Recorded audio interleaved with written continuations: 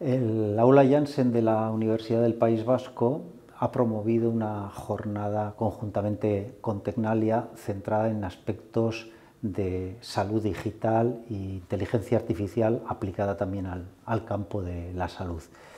Se trata de una jornada en la que hemos intentado integrar ponentes de diferentes campos que mm,